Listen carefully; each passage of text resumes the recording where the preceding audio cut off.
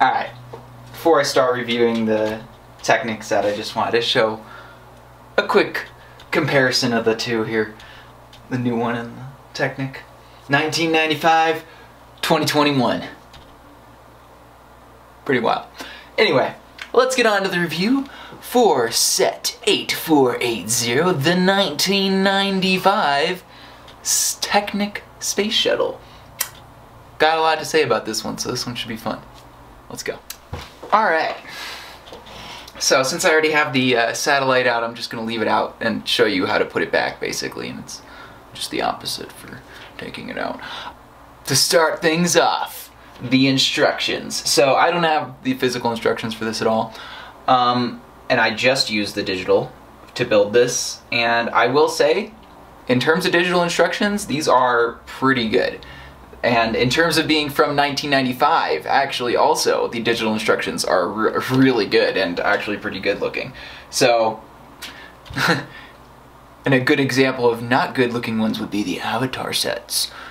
Oh boy, those instructions suck. In terms of old digital instructions, I actually have to give this a solid 3 out of 5. And I might even give it a 4 because they actually have like that um, page in the front of the the first or second page of the instructions has that little uh, diagram of the different lengths of the um, Technic pins and stuff.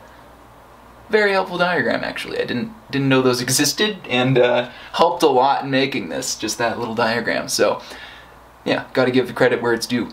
Um, overall though, it was difficult to make, but if you part out each like instruction thing first, so if you like get each part, like you might have seen in my speed build, which you can watch here, I'll, I'll link that actually. Um, yeah, if you part out each instruction before you build it, it helps a lot. Holy crap. Uh, it would be, it's basically impossible to make without doing that because I tried it once and it didn't work. Um, so yeah, the first time I make, made this, um, I didn't part out each instruction as I was making it and I built it completely wrong. Uh, I won't lie. And it didn't, basically none of the features worked as they were supposed to. Um, the satellite didn't work, the bay doors didn't work, this, the flaps like weren't even and stuff. Yeah, it was just bad overall, the way I built it the first time. And the second time I learned from my mistake and I parted out each instruction before I put the pieces on, or I got each part of the, like each piece from the instruction and then put it on. So I knew if I was missing a piece or whatever, and that is definitely necessary to do for a set this old and for instructions like they have. So I can't give the instructions a 5 out of 5 just because you have to do that, basically. Um, but it is a kind of cool challenge, so 3 out of 5 for instructions. Let me know if you guys think that's too high or too low. but for me, that's seems fair. Playability and functionality. Oh, this one is fun for that. Um, so, playability and functionality are both top notch. Like, Technic sets in general, I would think uh, most Technic sets in general that have power functions are gonna get pretty close to a 5 out of 5 on playability and functionality. Obviously you have this little um, thing here, or uh, trans transmission thing here for changing the to the different various um, things that you can do. Unfortunately, my um, fiber optic thing in there is broken, the little piece that's supposed to make um, colors coming out. Does not work, um, unfortunately, but it does spin back there, so I did get it to technically do what it's supposed to. It just, um, yeah, it doesn't, doesn't fire, as it were. The engines don't fire. but it's still technically works. I could just get another one of those pieces eventually, but uh, not a priority right now. I think that's one of those features that's just kind of uh, not something I would play with anyway, so not too worried about it. But it is cool that it has it. So if it did work, would be cooler, but you know, mine doesn't. All right, so um, also I just want to point out really quick, I put uh, tiles right here to identify what the different uh, stuff goes to here. So the red is fire, you know, ignition, and then uh, white would be the bay doors because they're white. I thought that would make sense. And then I did, because I don't have the stickers, um, and then I did gray to do the uh, the arm, so that makes the arm go up and down, and then black is this uh, black piece in here, it makes it spin. So that made it easier for me to kind of remember what does what and not have to go and like, you know, test it out every single time. So um, yeah, without having the stickers, I did make that little modification, and technically also I put that piece on there. But uh, yeah, other than that, 100% what it's supposed to be, just so you know. Um, but thought I'd point that out before I go through every feature here. Um, because yeah, that's how I'm identifying what I'm supposed to be doing here. So if we go ahead and uh, also just quickly point out the one, the knob on the right side is the one that makes uh, the actual stuff do stuff from this transmission box, and then the one on the other side is the one that closes the uh, the little. Eventually, it will. it's slow going, but yeah, it closes the little. Uh, satellite thing there. So yeah, uh, I'll go ahead and fast forward through me getting this back into its folded up position here. So, and technically I just also before I do that, you can do multiple things at once. So uh, you can be rotating it and closing the bay or the satellite things. is.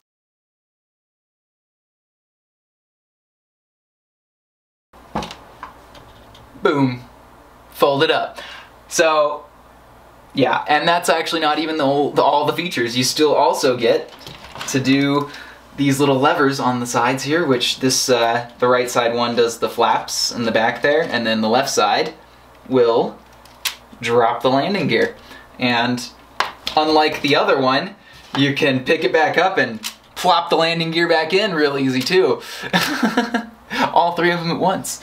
So yeah, I'll give actually props for that because you can plop them all back in at once. Um, I know technically that's not correct, but it is easier. also, you can do that with this one. I'll just, just quickly point that out. Um, so yeah. Anyway, playability and functionality, just all the, after seeing all those things, I don't know how I couldn't give this a 5 out of 5. Like, this is just so fun. And after having actually built it and having everything work, it is very satisfying to get it all together and see it actually work properly. Oh, beautiful experience. So, playability, functionality, 5 out of 5. Moving on, this one's a tough one. Cost and value. So, I paid around $300 for this. Um, I think it was closer to like 280 or something that I paid in US dollars. And that was only a few months ago, so that's 2020 rates. Um, which actually isn't bad. The only piece that doesn't work, obviously, is that uh, back piece, the fiber optic um, piece doesn't light up as it should, but it did technically work when I got it. It just stopped working after like a few seconds. So yeah, this this one is hard to justify if you buy it new for sure because this goes for like well over like $500 new. But if you part this out and you're willing to pay for some of the more expensive pieces, like the one in the uh, satellite here, or the uh, some of the ones down in here, that for this gearbox, um, if you're if you're willing to pay the more for some of the more pricey pieces, the rest of these are pieces you could very easily get, even just off of like Lego.com. So I would say it's worth parting out. Definitely not worth buying new. Um, but yeah, if you actually wanted to, I think this would be worth it. I think the value of this, if you were to part it out, not if you were to get it new, is definitely worth at least $300. So if you if you can get it under $300, you have a solid value, definitely for this set. Um, especially if everything is working properly, so including even the back fiber optic part. Um, but yeah, I I think the cost and value is actually going to be a four out of five on this, um, if you part it out. So with all uh, retired sets, I do have the stipulation on there. Um, but uh, yeah, this one, if you part it out, cost and value, four out of five. Difficulty and challenge.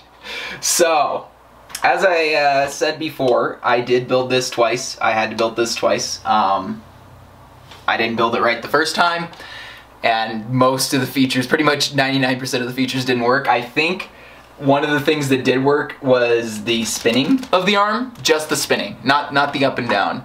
So the satellite arm would would be able to spin back and forth, and that was it. But of course, the bay doors didn't open, so it didn't matter the first time. But now, the second time I built it, which means I had to take it apart, I had to disassemble this uh, fully and then reassemble it, and that is also in the video that I linked. Um, having to have do that, it's still 4 out of 5 for me. It is a very difficult build, but, big but, because it is so rewarding, after everything is together and actually working, when you actually see it all work and you get to, you know, make everything function, it's a 4 out of 5. Like, it is the most difficult thing I have ever made by, in Lego by a long shot. Um, this is definitely the most difficult thing I've ever had to build, for Lego anyway. Um, and yeah, it's definitely worth it. Yeah. Worthy challenge, I guess would be the way to say it. Building experience. I don't I don't know why I did that. so yeah, going into building experience, uh, basically just goes back from what I was saying in difficulty and challenge. Just because it was the most difficult thing I've ever made, definitely doesn't mean it's gonna get a bad rating. Yes, it was difficult, but like I said before, was very fun and rewarding after finally getting it together and seeing everything work properly. So yeah, building experience also 4 out of 5. So this one's an interesting one, representativeness. Um, so I know a lot of people don't like that it has a bunch of holes in it and that's just kind of, you know, that's how Technic sets are, I, I would argue, um, for the most part, especially the older ones. You just, you know, getting to see all those mechanisms. So, it does represent the space shuttle. Like, you can look at this and you're like, well, yeah, that's the space shuttle, but like, you also look at this and you're like, huh, it doesn't look complete. you know? Like, there's just just the bay doors really I think are what make it not look complete. Because back here it looks solid. Like you have this like solid white part and like even just the the tail looks pretty good. But then you get to like the bay doors which are just like these super open things. And it just kind of looks weird to me. But it's still very representative of this shuttle in general because I mean, you know, it's got all the features, got the satellite in it, and the satellite even does the like you know, spreading of the satellite wings.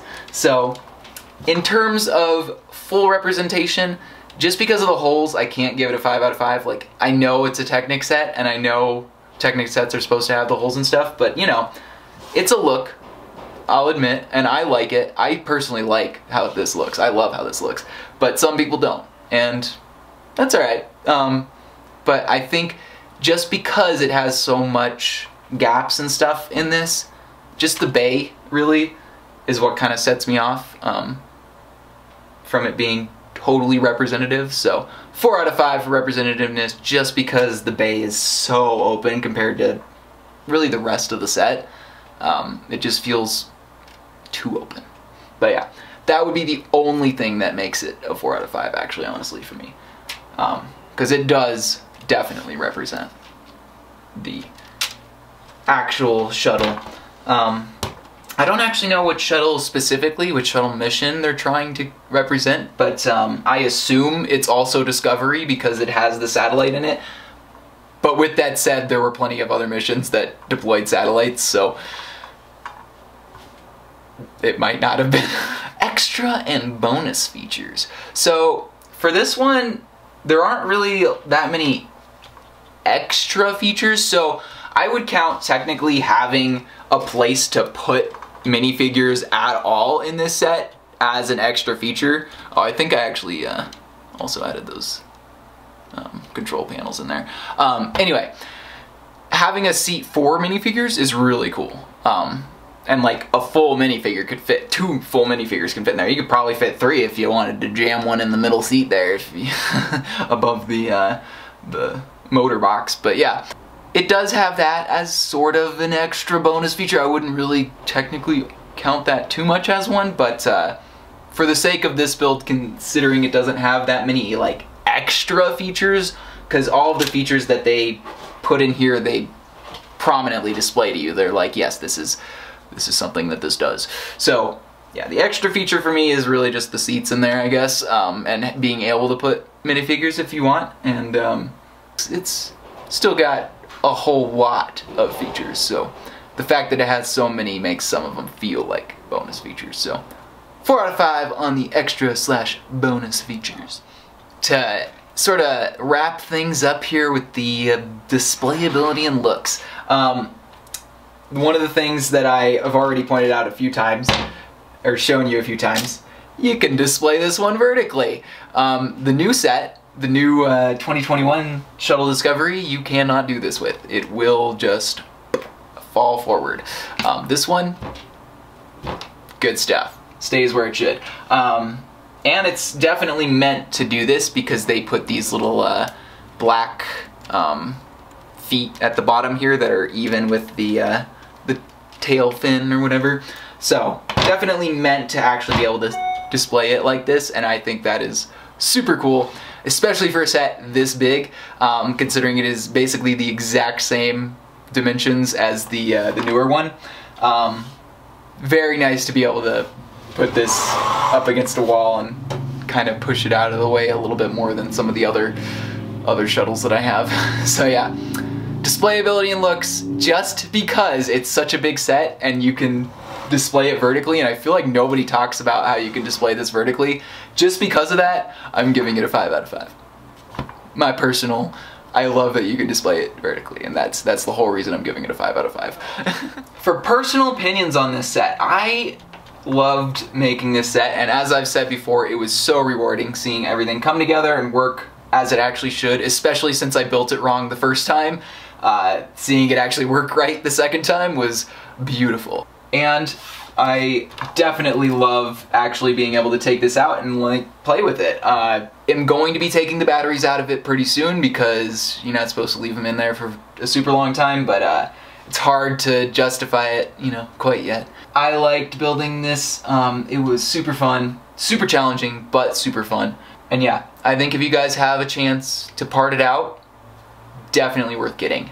If you have a chance to get it new for some reason at a pretty decent price, like around $300 new, go for it. 100%. Do not pass that up. Um, yeah cool set. Definitely a cool set. And this does almost inspire me to get more Technic sets that are older and have this much functionality in them and stuff, because I, I enjoyed that, so yeah. Look forward to more Space Shuttle reviews in the future, and if you guys want to check out some more, there are links in the description. Um, and uh, yeah, if you guys have any other opinions that uh, I might not have talked about and you want to let me know about them for this set, do comment below. And uh, yeah, thank you all for watching. I am sure you know how the buttons work down there by now otherwise. Click them as you please. And uh, yeah, Mr. HiYodaPanda, Tchau!